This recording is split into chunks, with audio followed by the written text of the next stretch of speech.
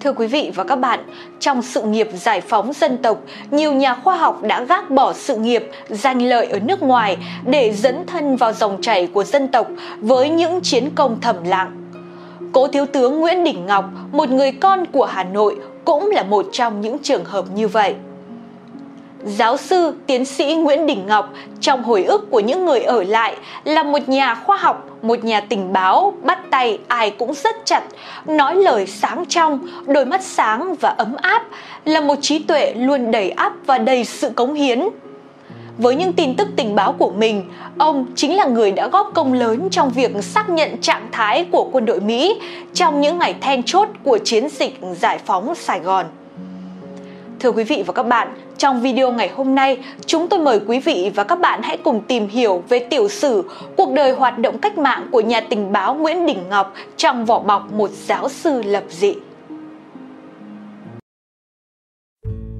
Giáo sư Nguyễn Đình Ngọc sinh năm 1932, quê ở huyện Phú Xuyên, Hà Nội. Trong một ngôi làng có nhiều văn nhân kẻ sĩ. Bố của Nguyễn Đình Ngọc là liệt sĩ, hy sinh trong một trận càn của lính Pháp năm 1947. Trong câu chuyện với đoàn thanh niên ở hội trường Bộ Công an số 44 phố Yết Kiêu, giáo sư, tiến sĩ khoa học Nguyễn Đình Ngọc đứng trên bụng với dáng người nhỏ thó, rơm rớm nước mắt trong sự im lặng tuyệt đối. Thưa các đồng chí, tôi vụt thành người lớn trên một quả đồi lúc mới 16 tuổi năm 1947. Lúc ấy tôi nằm trong bụi cây, nhìn thấy lính Pháp châm lửa đốt nhà, cầm lưỡi lê và súng tàn sát bà con thân thích của mình mà không dám hét lên. Trái tim tôi vụt lớn và trở thành cán bộ điệp báo của công an liên khu 4 từ đó. Năm 1949, Nguyễn Đình Ngọc đỗ tú tài toàn phần và học tại trường Cao đẳng Khoa học Hà Nội.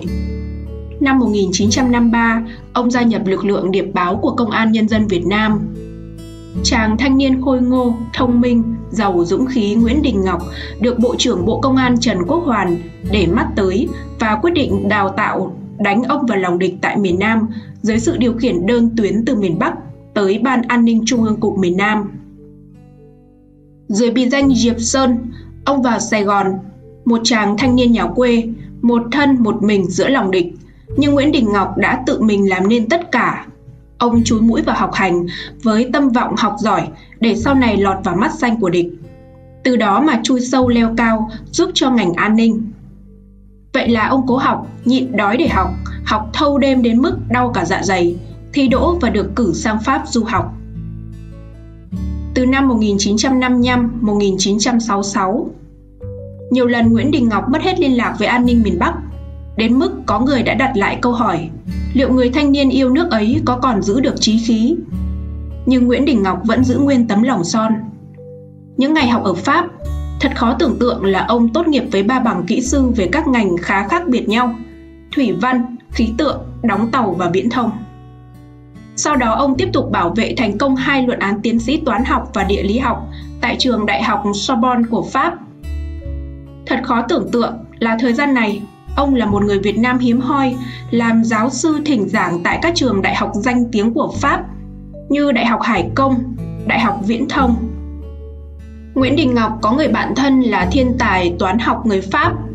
Sau này chính vì yêu Việt Nam và ủng hộ cuộc kháng chiến của nhân dân ta, ông đã đến Việt Nam giảng bài cho sinh viên ở khu sơ tán, khi trên trời máy bay Mỹ lồng lộn chút bom.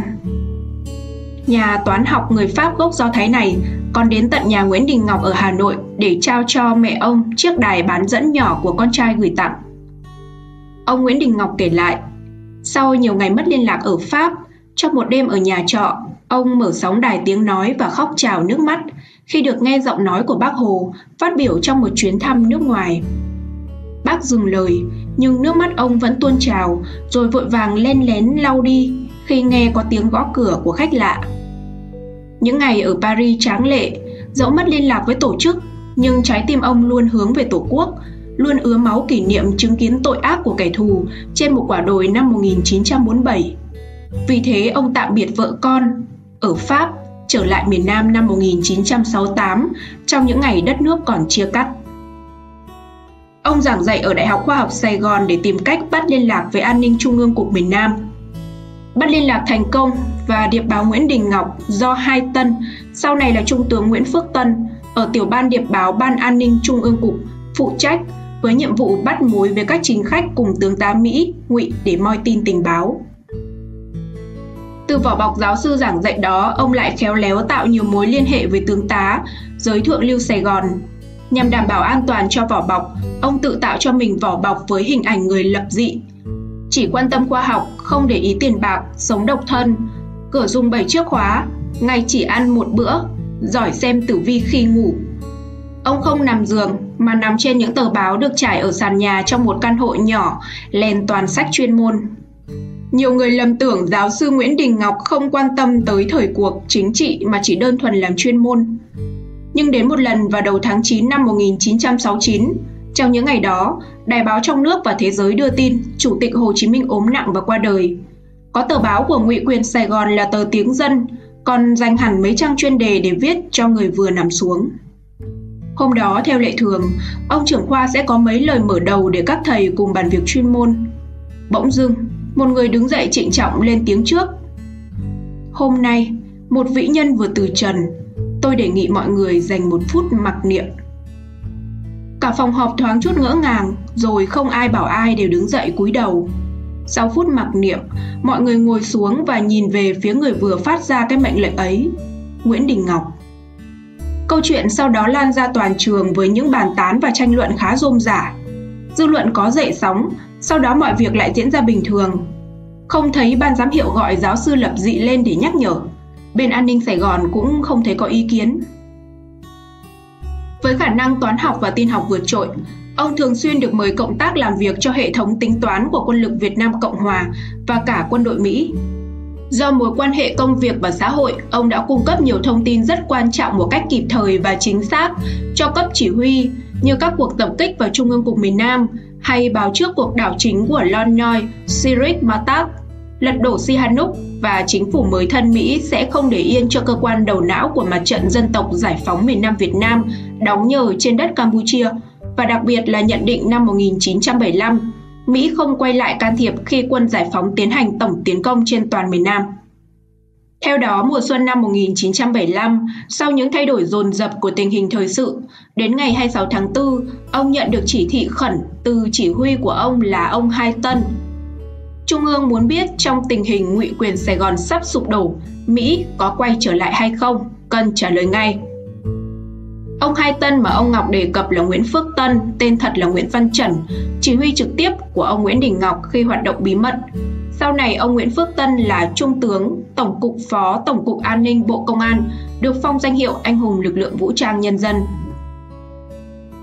Nhận chỉ thị của tổ chức, ông Ngọc nghĩ ngay đến hai người mà mình có quan hệ thân thiết là Đại tá Mỹ Jason Katz ở Bộ Chỉ huy Viện trợ Quân sự Hoa Kỳ tại Việt Nam, MACV, và Phó Đề đốc Hải quân Việt Nam Cộng hòa Nghiêm Văn Phú cũng là em rể vợ ông Ngọc. Tuy nhiên, khi ông đến nhà ông Jason Katz, người này đã ra đi. Ông Ngọc liền đến nhà Nghiêm Văn Phú, đúng lúc vợ chồng họ đang hối hả chuẩn bị di tản. Ông hối thúc ông Phú cầu cứu không quân Hoa Kỳ yểm trợ. Khi ông Phú liên lạc bộ đàm với đô đốc Noel Gaylor, tư lệnh hạm đội Thái Bình Dương của Hải quân Mỹ, dụ ông ta. Đô đốc, có biện pháp gì yểm trợ khẩn cấp chứ? Chúng tôi không thể tử thủ mãi được, sắp bại trận cả rồi. Hết cách rồi. Tiếng Noel Gaylor không giấu nỗi thất vọng, chán nản. Ông Thiệu, ông Kỳ cũng yêu cầu như phó đề đốc, nhưng Tổng thống Ford đã từ chối. Giờ chỉ còn chiến dịch di tản bằng phi cơ C-130 tại phi trường Tân Sơn Nhất đưa người Mỹ rời Việt Nam thôi. Nghe câu trả lời của viên đô đốc Mỹ, ông Ngọc nói ngay với Nghiêm Văn Phú đằng nào cũng thua tử thủ không giải quyết được gì chỉ thêm đổ máu cho cả hai phía sau khi từ chối di tản cùng gia đình ông phú giáo sư ngọc tính ngay bài toán phải chọn cách nào để tin đến ông hai tân nhanh nhất theo nguyên tắc ông ngọc chỉ được phép gửi tin qua hộp thư bí mật ông biết nơi ông hai tân đang ở là chùa đại tùng lâm trên đường 51 đi vũng tàu nhưng trước đó ông hai tân đã có chỉ thị chưa có lệnh không được đến Giáo sư Ngọc liền đến nhà một đồng nghiệp là giáo sư Võ Bình, người có ô tô Peugeot 404. Ông mượn ông ta chiếc xe này trong vài giờ. Phá bỏ quy tắc bí mật, ông tự lái xe xuống chùa Đại Tùng Lâm. Sau hơn một giờ, ông đến nơi. Vừa gặp nét mặt ông Hai Tân lộ rõ vẻ ngạc nhiên khi thấy ông Ngọc đến vào lúc này. Nhưng khi nghe kể lại nội dung điện đàm giữa Nghiêm Văn Phú và Đô đốc Noel Gaylor, nét mặt ông giãn ra, thoáng nụ cười trên môi. Ông ôm choàng lấy đồng đội, nhẹ nhàng bảo giáo sư Ngọc cần quay trở về thành phố. Sau này khi nhà nước thống nhất, theo thời gian hoạt động của một số điệp viên đơn tuyến được phép tiết lộ trên các phương tiện truyền thông đại chúng, ông Ngọc mới biết, ít ra trong thời điểm những ngày diễn ra cuộc tổng tiến công mùa xuân năm 1975, cấp chỉ huy chiến lược đã nhận được 3 tin tình báo đều khẳng định Mỹ không quay lại cuộc chiến. Đó là tin của ông Phạm Xuân Ẩn, sau này lộ diện là tình báo quân đội. Lúc ấy đang là trong vỏ bọc phóng viên tạp chí Time tại Sài Gòn. Một tin khác của ông Nghị Đinh Văn Đệ, Chủ tịch Ủy ban Quốc phòng Hạ viện Việt Nam Cộng Hòa, cũng là điệp viên đơn tuyến. Tin của ông Ngọc về đến Bộ Chỉ huy cấp cao nhất 24 giờ trước cuộc tổng công kích cuối cùng vào đầu não của chế độ Việt Nam Cộng Hòa. Chân dung cũng như chiến công quan trọng của ông Nguyễn Đình Ngọc đã được trong cuốn tiểu thuyết mang tên Đơn Tuyến. Đó cũng chính là cái tên khái quát cuộc đời hoạt động tình báo bí mật của ông. Là một nhà tình báo, xung quanh giáo sư Nguyễn Đình Ngọc là lớp lớp những bức màn bí mật. Có thời gian do hoạt động đơn tuyến, ông cũng bị đặt nhiều dấu hỏi. Thậm chí đến sau giải phóng miền Nam 1975, nhiều người trong lực lượng công an còn chưa biết Nguyễn Đình Ngọc là ai. Ngay cả khi năm 1988, ông được bổ nhiệm chức vụ Phó Cục trưởng Cục Khoa học và Kỹ thuật, vào tháng 10 năm 1994 được phong hàm thiếu tướng cái tên Nguyễn Đình Ngọc vẫn còn khá mơ hồ với nhiều người. Giáo sư tiến sĩ khoa học Nguyễn Đình Ngọc là người đã đặt nền móng và phát triển có hiệu quả nhất mạng thông tin tin học viễn thông trong lực lượng công an nhân dân.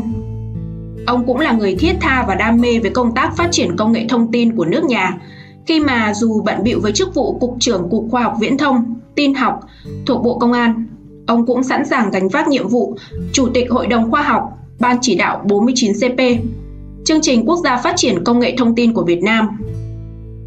Có điều rất đáng khâm phục ở nhà khoa học Nguyễn Đình Ngọc, dù làm bất cứ việc gì, dù nhỏ hay to, ông đều dốc hết tài năng và tâm trí nhằm đạt tới kết quả tối ưu.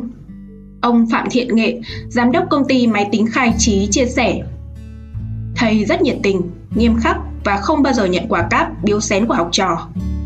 Nếu thấy học trò khó khăn, thầy còn giúp đỡ vật chất. Trong nghề tình báo Việt Nam cũng quả là hiếm có một con người như ông. 49 năm công tác, chiến đấu liên tục trong lực lượng công an.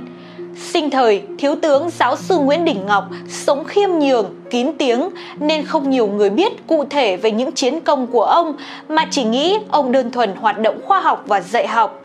Ông liên tục cố gắng trên con đường khoa học không phải để tìm kiếm vinh quang mà cốt để hoàn thành xuất sắc nhiệm vụ, phụng sự hết mình cho đất nước và cho nhân dân. Giáo sư Bùi Trọng Liễu, nguyên giáo sư Đại học Paris chia sẻ, Thuở xưa, có ông Phan Kế Bính viết cuốn Nam Hải dị nhân kể về sự tích về những nhân vật như Hai Bà Trưng, Bố Cái Đại Vương, Lý Thường Kiệt và Lê Như Hồ, ngày ăn nổi một nồi 30 bát cơm. Sau này, nếu ai có ý định viết một cuốn Nam Hải dị nhân mới, xin đừng quên nhân vật Nguyễn Đình Ngọc.